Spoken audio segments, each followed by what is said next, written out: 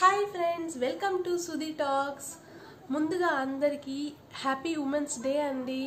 So నేనైతే బాగున్నాను. మీరు ఎలా ఉన్నారు అన్నది నాకు కామెంట్ సెక్షన్లో చెప్పండి. సో నేను ఏం టాపిక్ మాట్లాడుతున్నాను అనేది మీకు అర్థమైపోయింది కదా? తమ్నేల్ చూడగానే.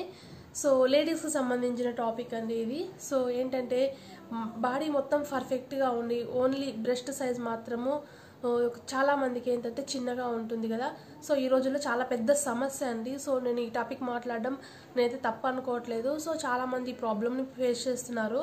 సో అందుకనేసి నేను నాకు తెలిసిన టిప్స్ అయితే ఇద్దాం అనుకుంటున్నాను. సో ఈ టిప్స్ ఫాలో అయ్యి వాళ్ళు వాళ్ళ బాడీ షేప్ని ఐ మీన్ ఏమంటారు ఆ బ్రెస్ట్ సైజు మంచి షేప్ తెచ్చుకోవచ్చు అనమాట అవేంటనేది చూసేద్దాం. సో ఫ్రెండ్స్ వీడియోలోకి వెళ్ళే ముందు నాది ఒక చిన్న రిక్వెస్ట్ ఫ్రెండ్స్ ఎవరైనా ఫస్ట్ టైం మన ఛానల్ని చూస్తున్నట్లయితే సబ్స్క్రైబ్ చేసుకోండి. పక్కనున్న ఒక చిన్న గంట సింబల్ ఉంటుంది దాన్ని కూడా క్లిక్ చేసేయండి. సో అప్పుడు మీకు త్రీ ఆప్షన్స్ వస్తాయన్నమాట. సో అందులో ఆల్ అనే ఆప్షన్ క్లిక్ చేస్తే నేను ఏ వీడియో పెట్టినా మీకు నోటిఫికేషన్లో వస్తుందన్నమాట. సో నేను ఆల్మోస్ట్ అన్ని నేను లేడీస్కి సంబంధించిన టాపిక్సే మన ఛానల్లో వస్తాయన్నమాట. సో హెల్త్ కేర్ కానివ్వండి ప్రెగ్నెన్సీ వీడియోస్ ఎక్కువ లేడీస్ ప్రాబ్లమ్స్ ఇవైతే నేను అప్లోడ్ చేస్తూ ఉంటాను. ఫ్రెండ్స్ ఫాలో అవడానికి ట్రై చేయండి. ఓకేనా? చాలా మందికి ఇలా బ్రెస్ట్ అనేది చిన్నగా ఉండడానికి కారణం ఏంటంటే ఆ ప్లేస్లో ఫ్యాట్ అనేది లేకపోవడం. అంటే ఫ్యాట్ కంటెంట్ మామూలుగా ఏముంటుంది? ఒక ఫిఫ్టీ సిక్స్టీ పర్సెంట్ ఫ్యాట్ అనేది ఉంటుంది. మిగతాది మజిల్స్ అంటే కండు ఉంటుంది కదా కొంచెం వాటర్ వీటితో నిండి ఉంటాయన్నమాట. సో కొందరు అంటే బాడీ మొత్తం చాలా పర్ఫెక్ట్గా చాలా అందంగా ఉంటారు. బస్ట్ బట్ ఆ విషయానికి వచ్చేసరికి ఏమంటారు వక్షోజాలు అనేవి చిన్నగా ఉంటాయి చాలా చిన్నగా ఉంటాయి అన్నమాట సో దీనికి రకరకాల రీజన్స్ ఉన్నాయి. కొన్ని జెనెటిక్స్ రీజన్స్ అయి ఉండొచ్చు. అంటే వాళ్ళ పేరెంట్స్కి అలా అందరికి కొంచెం చిన్నగా ఉండొచ్చు. సో వారసత్వంగా వచ్చి ఉండొచ్చు. లేదా వెయిట్ లాస్ అయిపోవడం వల్ల ఏమైనా అంటే డైట్ అవి చేస్తే వెయిట్ తగ్గుతారు కదా. సో అలా కూడా వాళ్ళకు సైజ్ అనేది తగ్గి తగ్గి ఉండొచ్చు. లేదంటే కొందరికి మామూలుగానే న్యాచురల్గా చిన్నగా ఉండొచ్చు. సో ఇలా కొన్ని కొన్ని రీజన్స్ అయితే ఉన్నాయి. ఇంకా ఏంటంటే హార్మోనల్ ఇన్బ్యాలెన్స్ ఈ ప్రాబ్లమ్స్ వల్ల ఈ బ్రెస్ట్ సైజ్ అనేది చిన్నగా ఉంటుందన్నమాట. సో మరి వీటిని ఎలా మనము మామూలు సైజుకి తెచ్చుకోవాలి అంటే సింపుల్ అండి. సో ఏంటంటే మనం ఫ్యాట్ కంటెంట్ ఉండే ఫుడ్ని ఎక్కువగా తీసుకోవాలి. అంటే మిల్క్ కానివ్వండి డైరీ ఉంటాయి కదా పన్నీరు ఇలాంటివి అనమాట అండ్ మెయిన్గా ఏంటంటే డ్రై ఫ్రూట్స్ తీసుకోవాలి బాగా. ఓకేనా? వాల్నట్ బాదం జీడిపప్పు ఇలా మీకు నచ్చినవి. డైలీ ఒక గుప్పెడు కనుక మీరు తిన్నట్లయితే మీకు తొందరగానే మీకు బ్రష్ సైజ్ అనేది నార్మల్ స్టేజ్కి వస్తుందన్నమాట. కంగారు పడాల్సిన అవసరం లేదు. సో డైలీ మీరు ఖచ్చితంగా ఇన్ని తినాలి ఒక పిరికడని అని మీరు గుర్తుపెట్టుకోండి. అండ్ ఇంకా ఏంటంటే ఒక ఎక్సర్సైజ్లు ఉంటాయన్నమాట వీటికి. మీకు యూట్యూబ్లో చూస్తే చాలా ఉంటాయి. సో ఆ ఎక్సర్సైజ్లు కనుక మీరు చేసినట్లయితే ఏమంటారు చిన్నగా ఉన్నవి పెద్దగా అవడానికి బాగా హెల్ప్ చేస్తాయన్నమాట. వన్ మంత్ టూ మంత్ మీరు ఇలా చేయండి.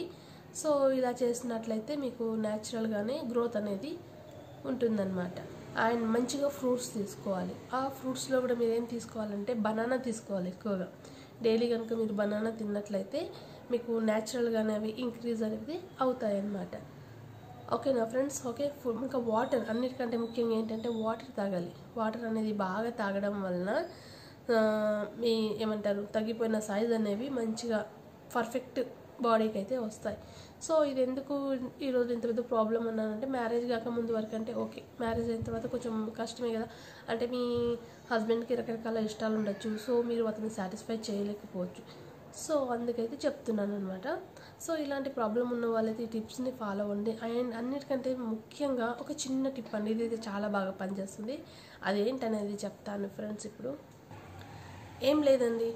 సో మీకు కనుక మ్యారేజ్ అయిపోయి ఉంటే సో ఒంటరిగా ఉన్నప్పుడు ఫ్రీగా ఉన్నప్పుడు మీ హస్బెండ్ని మీ వక్షోజాల మీద ఐ మీన్ బ్రెస్ట్ పైన మీరు టచ్ చేయమని చెప్పండి. ఇది చాలా సింపుల్ అండి.